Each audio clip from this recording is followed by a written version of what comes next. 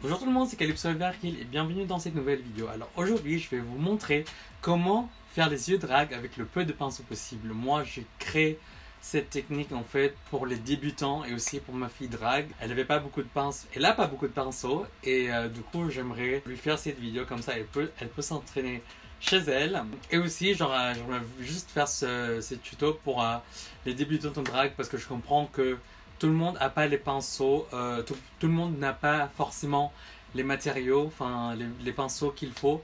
Euh, si par exemple vous voulez juste acheter genre quelques pinceaux, bah cette technique ça pourrait vous aider à faire les yeux drag quand vous débutez. Alors, euh, on va faire la liste de ce qu'on a, besoin. Déjà, il faut que vous cachiez vos sourcils. C'est la base de drag. Après, si vous voulez pas cacher vos sourcils, c'est pas grave. Moi, je teste un, une nouvelle technique en ce moment. Je sais pas si vous aimez bien. Si vous avez bien, mettez dans les commentaires. Je vais faire un tuto. Mais euh, pour le moment, c'est ce que je teste. Moi, j'ai un miroir ici à côté, c'est pour ça. Voilà, j'ai déjà caché mes sourcils. J'ai déjà mis euh, le correcteur. J'ai déjà mis le fond de teint. Donc euh, j'ai l'air un peu crazy en ce moment, c'est très wild. Cette nouvelle technique marche très très bien parce que comme vous pouvez voir, il n'y a pas trop trop de texture. Et en fait moi, je, comme vous savez, moi je colle avec la colle à postiche, après je mets la colle et là c'est une autre technique que j'essaie de faire. Du coup moi j'ai mis le fond de teint, j'essaie juste pour vous montrer. Après, niveau pinceau, qu'est-ce qu'on a besoin? Vous auriez besoin de trois types de pinceaux. Tout d'abord, un pinceau comme ça, parce qu'en anglais, on appelle ça genre pencil brush. Euh, le plus important en fait, c'est que ce soit un, un, un, pinceau pointu au bout, comme ça, pour dessiner. Je vais vous montrer tout à l'heure. Ensuite, un pinceau plat, mais quand même assez fluffy. Je trouve c'est le pinceau qu'on va utiliser pour blender. Après, un dernier pinceau euh, fluffy, mais vraiment rond c'est euh, pour euh, blender encore plus le, les fards. C'est ça pour faire la crise ou la banane des yeux. Après, ensuite, pour faire la paupière mobile, pour faire la cut crease, ce qu'on a besoin d'un pinceau plat, comme ça, synthétique. Euh, je trouve qu'en fait la matière de pinceau a un impact sur euh, le maquillage. Donc un pinceau synthétique plat comme ça, euh, c'est ce qu'on va utiliser pour prendre le produit et mettre sur les yeux. Après un pinceau comme ça, c'est pas synthétique. Pour prendre le produit, fixer le catrice qu'on a fait. Ensuite, pour le bas des yeux, c'est là où ça diffère.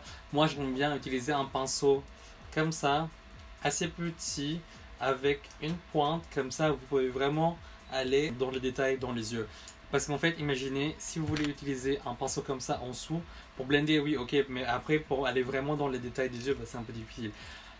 Cette technique marche pour cette forme des yeux. Donc euh, il faut que je clarifie quand même en fait que genre ça dépend de, votre style des yeux. Par exemple, si vous voulez les yeux euh, beaucoup plus blendés, bah il faut utiliser des, pinceaux beaucoup plus fluffy. En fait, la forme de pinceau compte pour le make-up drag que vous allez faire. Moi, j'aime bien utiliser la palette de Fenty, de chez Fenty, c'est la palette euh, Snap Shadows. Moi j'aime bien utiliser 1 et 3 parce qu'il y a des couleurs neutres dedans. On va utiliser ça pour l'exemple aujourd'hui, mais après en fait je vous conseille d'avoir des, euh, des fards euh, de assez bonne qualité quand même pour faire cette technique.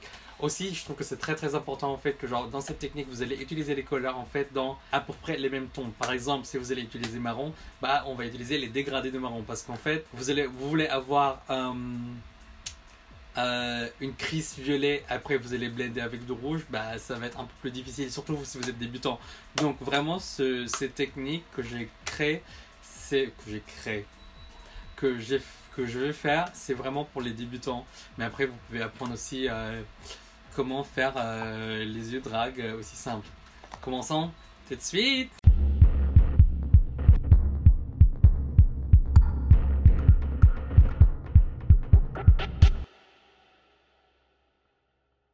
Alors, comme je l'ai dit, en fait, avec le, euh, le, pinceau pointu, assez pointu, c'est ce qu'on veut faire, en fait, pour dessiner la forme de notre crise. Alors, moi, je vais utiliser cette couleur, un marron assez froid. Donc, euh, moi, je vais juste tapoter et je vais commencer à dessiner la forme que je veux.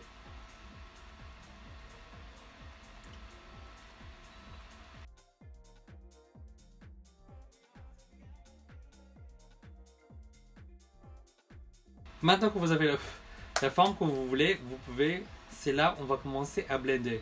Moi, maintenant, je vais utiliser la palette numéro 3 et je vais utiliser ce marron. Euh, c'est un marron avec un sous-ton euh, assez froid, froid neutre. Donc on va utiliser ça. C'est là en fait où on va blender vers le haut. Vous allez voir, il faut blender vers le haut et pas vers l'intérieur parce que je trouve qu'on euh, perd un peu de temps quand on va cut le crease. Donc moi, ce que je fais, c'est j'estompe juste les bords.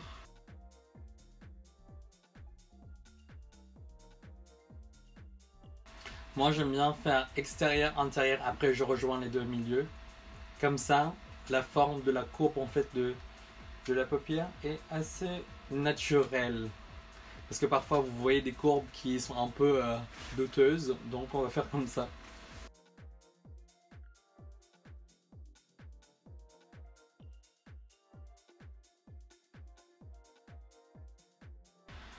Après qu'on a posé le marron et genre euh, qu'on a blendé la démarcation entre le marron clair et le marron foncé, on va prendre un autre pinceau propre. C'est très très important que le pinceau soit propre parce que vous voulez pas rajouter de produits et on va juste blender le marron clair.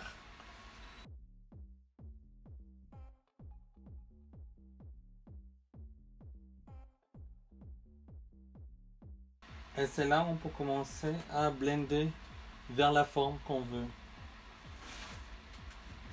Et quand tout est blendé, c'est là où on va revenir avec le pinceau pointu pour enfoncer le marron foncé qu'on avait déjà mis de base.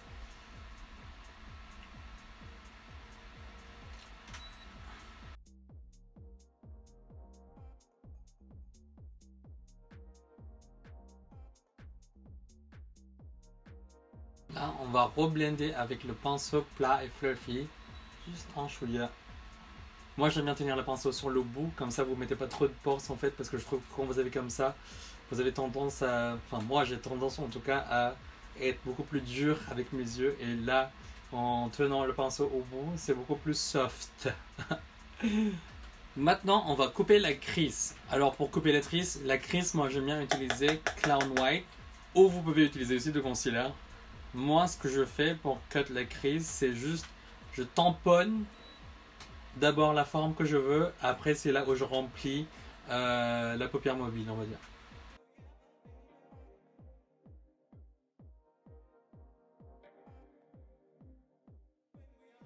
Et quand vous avez la forme que vous voulez, c'est là où il faut remplir. Alors là, vous, comme vous voyez, j'ai déjà fait la forme de creux. Maintenant, je vais remplir je vais fixer avec euh, une poudre. Là, c'est vraiment la poudre de votre choix. Ça peut, ça peut être la poudre libre, ça pourrait être aussi euh, une poudre fond. Moi, j'aime bien utiliser le Shivering White de chez MAC. C'est une poudre fond euh, blanche, c'est en compact. Et moi, j'utilise ça pour vraiment avoir la paupière mobile en blanc. Alors, j'ai fait hors caméra ma base. Je fais rapidement. Donc, on va continuer toutes 8. Avec le pinceau un peu plat et un peu fluffy, on va créer la forme des yeux. Là, on a fait juste la courbe, euh, la crise des yeux. Et là, on va continuer pour faire le wing. Donc, euh, moi, le pinceau que j'utilise, c'est le Fenty 230 Blending Brush, un peu plat comme ça. Je n'ai pas mentionné tout à l'heure, c'est pour ça que je le dis maintenant. Et on va juste tapoter sur le coin externe des yeux pour, pour faire the wing. Juste comme ça, vous avez un guide. C'est là où vous allez commencer à faire comme ça. Vous voyez, on, voit, on commence à voir un peu la forme des yeux. Et après, vous blendez les deux ensemble.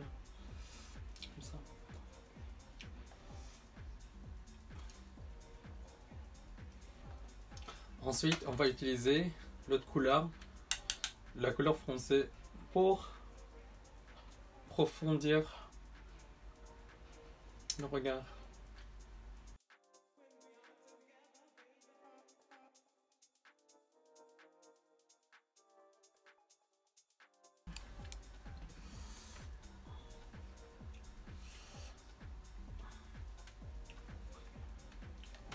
Après, vous avez ce look smoky.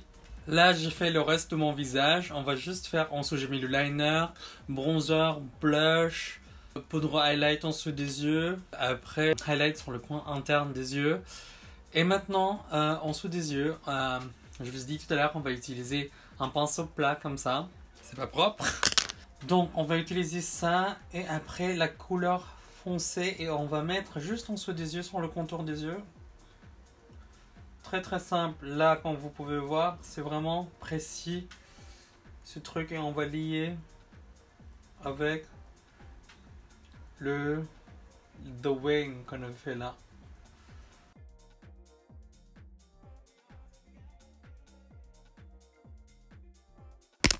Après qu'on a fait ça, on va blender avec le marron plus clair.